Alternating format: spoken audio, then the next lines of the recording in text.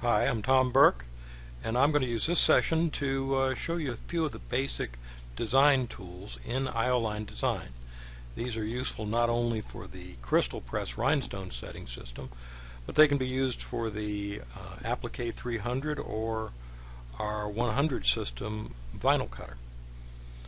We're going to do a simple t-shirt design. We'll start by creating the lettering.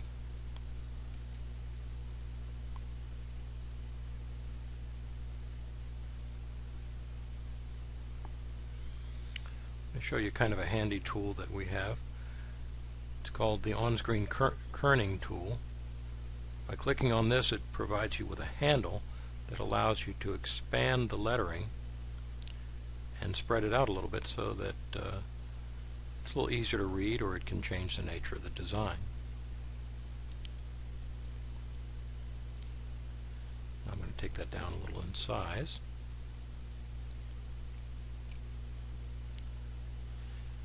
and we're going to apply that to an arc by simply checking on fit text to arc and notice here that we can then change the angle or the curvature of the arc simply by pulling on these handles like so.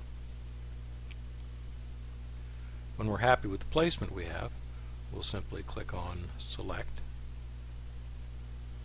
and now we have our curved image. Going to put that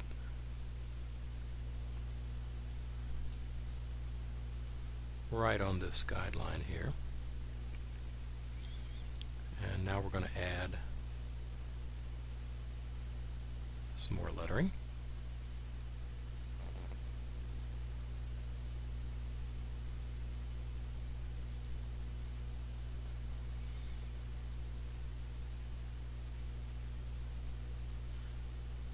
Again, we'll spread the kerning out just a little bit.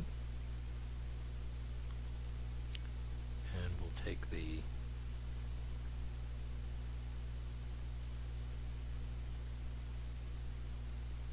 letter size down a bit.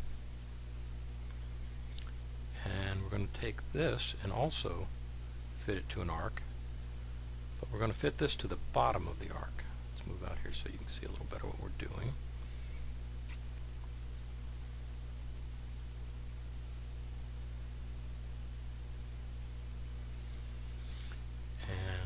by grabbing this handle in the center, we'll bring the lettering around to the bottom of the arc. Then simply clicking on invert flips it over for us. We'll click on select and we'll bring that lettering up onto our design area. Again, we'll move it over a little so that it's on the same center line with the word we previ previously created. Now, I'm going to add a star simply by selecting from our Shapes tool and drawing a star the appropriate size.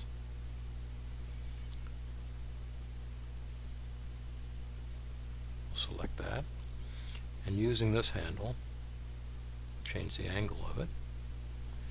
And using the arrow keys we'll just move it over until it's on the same center line that we used previously. Now we're going to add an outline around that star. By simply clicking on the outline tool selecting a different color and going over here to the outline dimension and increasing it until we get what looks like a good amount of offset. We'll close that and now we'll select the entire design. Click on Export to Ioline, CrystalPress, and we'll call it All Star.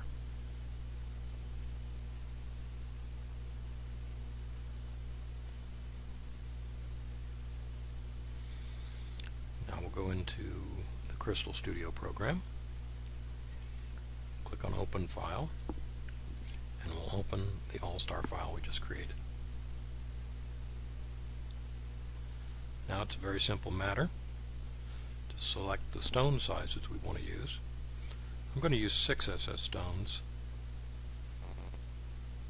for the red layer and for the yellow layer I'm going to use 16s. Just that quickly we have a design personalized to a particular school and ready to use. Hope this tells you a little bit more about the tools that are available in Ioline Design. Thanks very much.